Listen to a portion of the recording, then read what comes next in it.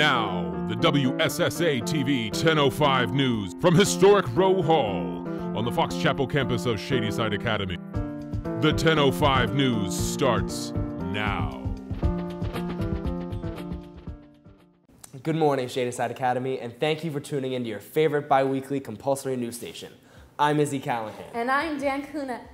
Wait, what? I- I'm Izzy Callahan. And I'm Dan Cunahan, and this is the 1005 news. Let's get into this past week's stories. This past weekend was the annual Clipper Dance, a tradition which perfectly blends the awkwardness of high school dances with the confined space of a small boat. And if you thought you couldn't dance before, just try to do it while you're seasick, sweating, and trying to avoid unwanted eye contact with Mr. Logue. The theme for seniors this year was early 2000s, or better known as the clothes that Mr. Frankel and Senor Cronin wore in college. With more on the dance, let's check in with Tyler Hackaday. I'm Tiger, I mean Tyler Hackaday, coming from the Gateway Clipper. We're about to find out what people are wearing today. I'm here with Vice President Dan Cunahan, here to check out what he is. Dan, what are you today? I think I just want to be in a boy band. That's all I have for you. I am Paris Hilton at her 21st birthday party in 2002.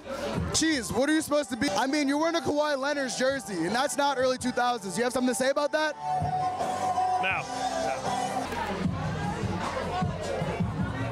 Just want to get some me dancing with you. I'm, I'm here with Sue Yang, man. What, what are you today? That's a nice costume. What is that? Uh, I don't know. It's just some. Ra- I'm just some random dude from the early 2000s, man. I'm wearing a suit. That is all. Back to you, Dan and Izzy. Yeah, back to you, Dan and Izzy. Well, I hope Mr. Frankel didn't wear most of that. Speak for yourself. And now, to El Santora with weather. Dude, what are you doing? I'm tanning. It's March 9th, 2018. Well, it's 289.1 Kelvins out today, so. Okay. So, uh, you know what the weather's gonna be like next week? Uh, I, I don't even know. Back to you. Thank you, Al. I guess. And now, kicking it to the Michael Jordan of interviews, to the Michael Phelps of charisma, to the Tom Brady that people actually like, to the number one ranked sports reporter in Fox Chapel, Jack Naughton with sports. Y'all ready for this?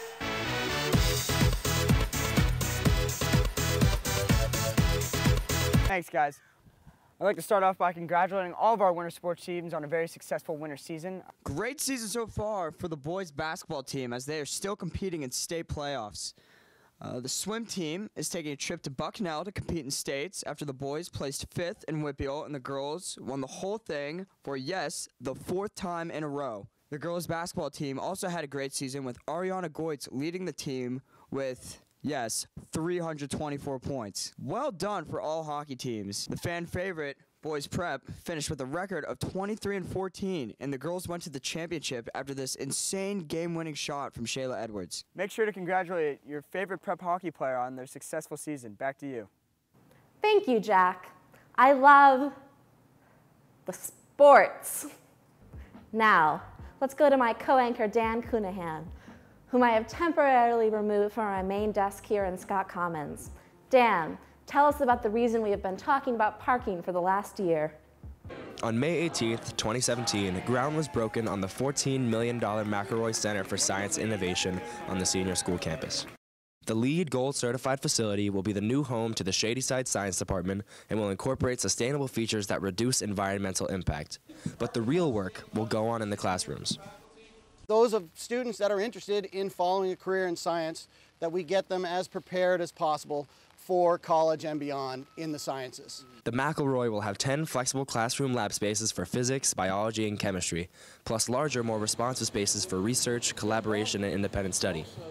The new building, how that it's going to enhance that process. The 22,000 square foot U-shaped brick and glass design respects the architectural style of SSA's campus while bringing new energy and state-of-the-art design features. Solar panels on the roof will contribute a portion of the building's electricity needs, but when the building is not in use, the rooftop panels will still contribute. All that sun that we're capturing is going right onto the grid. The building is set to open for classes this fall.